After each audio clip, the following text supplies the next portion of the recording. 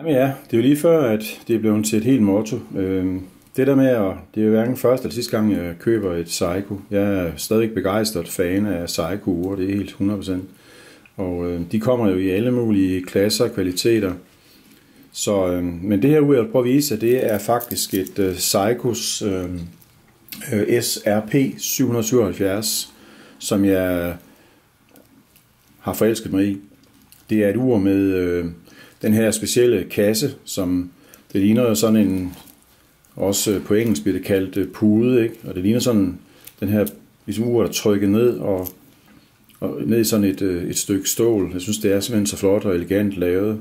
Det giver også en, en meget begrænset højde på uret, og det er super lækkert at gå med, fordi det har den her store radius i den her runding, der gør, at, at håndledet ligesom, så det bliver sådan helt glat på, på håndledet.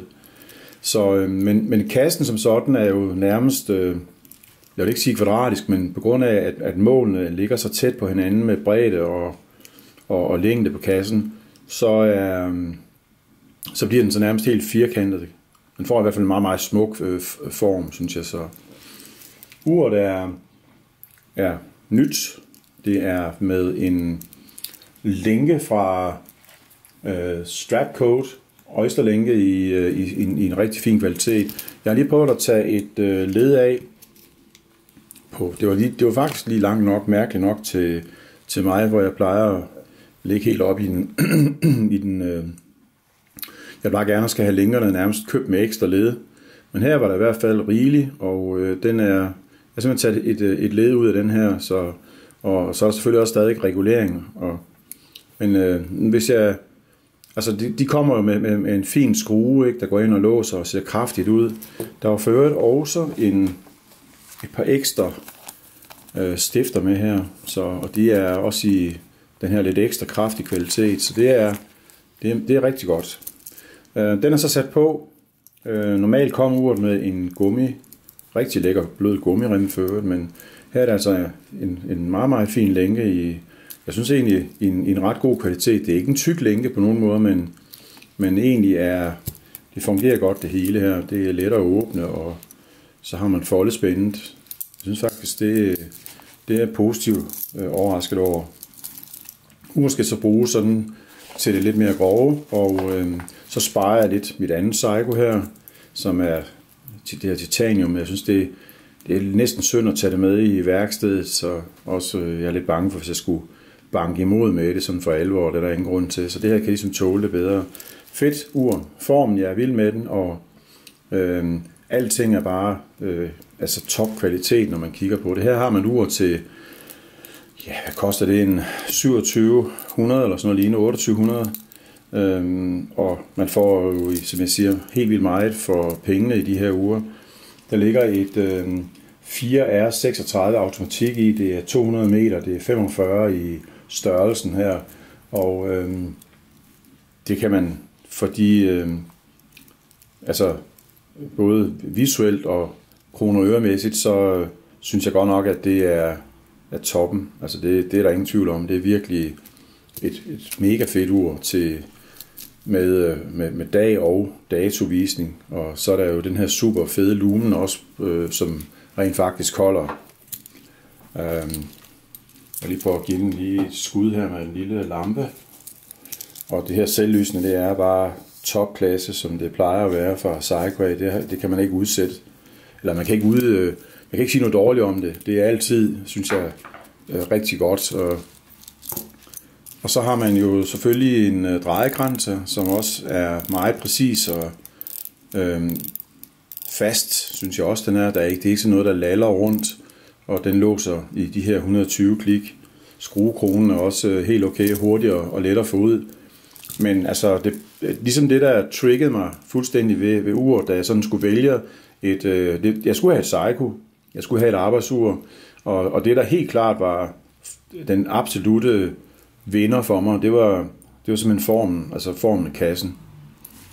Øh, den her mega lækre, bløde pude, som man kunne få lyst til at sige, altså uret synger ned i sådan en pude, jeg synes, det er virkelig en smuk kasse. Altså den øh, formgivning her er, er super heldig, og den har jo så også rødder tilbage i, i øh, jeg tænker, i, i hvert fald i mine, mine helt unge dage, øh, mener jeg faktisk, øh, at, at de her, den her kasseform, den kunne spores dengang også. Og om det er i 69 eller 65 eller sådan, det har jeg ikke helt styr på, men fedt ur, og det holder bare. Altså når designet er i orden, ikke? Øh, selve, selve uret er jo med altså super behageligt at, at, at have på håndledet.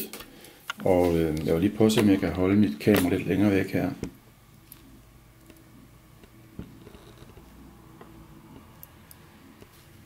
Jeg kan godt lide det her med, at den, den, den er runder herinde i, når han bukker sit håndled, og kronen den sidder ikke nede, hvor den kan irritere overhovedet, ikke? så det er,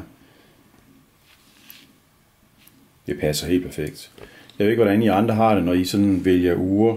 Øh, jeg tænker sådan lidt på det her med, om øh, størrelsen på, på, på linken og sådan noget. Jeg har sådan et eller andet fast med, at jeg skal sådan lige kunne... Øh, nu skal jeg lige have det her kamera til at stå igen. Jeg har et rimelig sødt stativ på benen her. Men jeg plejer gerne så lige at skulle kunne få en finger ind under her, så passer pengene. Så er der plads til, hvis håndledet hæver lidt, og lige sådan også, det sidder ikke og rutscher alt for meget rundt. Ja, fedt, fedt ur. Og hvad hedder det? Det kommer selvfølgelig med, med en boks, den her lille grå boks, der er med, og får vi hurtigt kigge ned i. Og så er der jo de sædvanlige papirer. Øhm, det er jo fra den her Pro-serie, Psycho Pro Specs, så din normer og så videre, eller er, er, er jo overholdt, øhm, som det altid er med Psycho, det ligger jo og top klasse i orden. Øh, linken her kan jeg ikke sige så meget mere om. Jeg, jeg er ikke øh, så meget inde i de her længere fra Strapcode af, men jeg har indtryk af, at de laver noget, altså hvis jeg skal vurdere det ud fra det her, så ser det i hvert fald ud som, de laver noget ganske udmærket, det må jeg sige. Øhm, og så er der selvfølgelig manualer med til urene. Det er jo egentlig sjældent, vi kigger i dem, men der kan man se de forskellige kaliber, der står sådan nævnt herhen. Og, og så er der de papirer og det, der skal være også. Det er fint nok. Sådan et ur her har man jo i mange, mange år frem. Øhm, så hvis ellers at det bare, i hvert fald fra start af i går, øh, fint, øh, så, øh, så har man ur til urglæde i, i mange år frem, som sagt. Så. Men smukt er det. Og det er nu egentlig ikke, fordi det skulle være nogen sådan kæmpe stor video. Faktisk ville jeg faktisk sådan bare hoppe over det, men jeg laver jo som regel altid alligevel en video af, af når jeg får et nyt ur. Og jeg kan efterhånden nærmest ikke lade være med at, at, at lave de her video, øh, små videoklip af, af de her nye ure, jeg får i fingrene. Og øh, det bliver nogle gange sådan, det er jo bare sådan first take, jeg ved aldrig helt, hvad jeg skal sige, men det er sådan, hvad der spontant opstår.